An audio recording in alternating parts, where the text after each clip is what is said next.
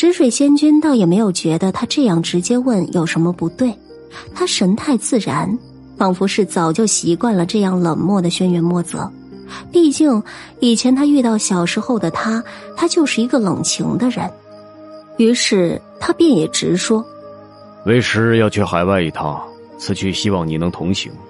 师尊没有别的人选吗？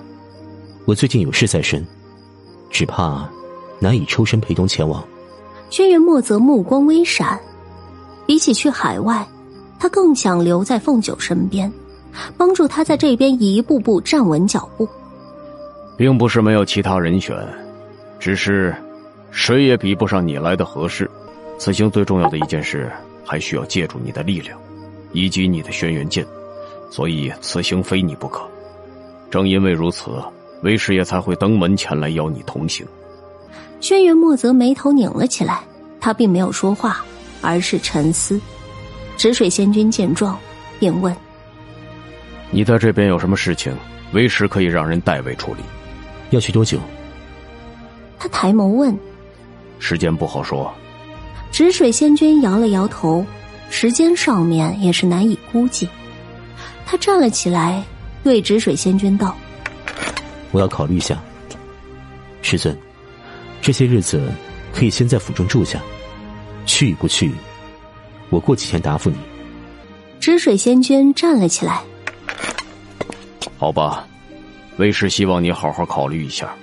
如果你在这边有什么放心不下的，可以跟为师说。”为师可以让人帮你处理，让你无后顾之忧。灰狼，带仙君去后院休息。是。灰狼走了进来，对止水仙君做了个请的手势。仙君，请这边请。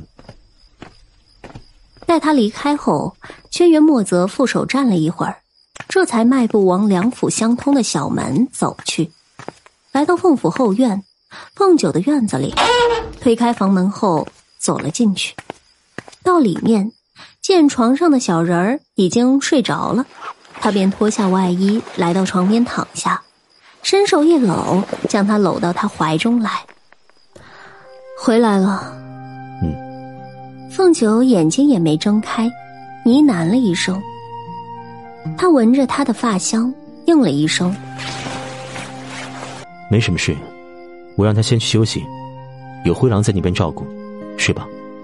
听他说没什么事，凤九便也没再问，只是喃喃：“明天我要去城里转转，看看有没有合适的铺面。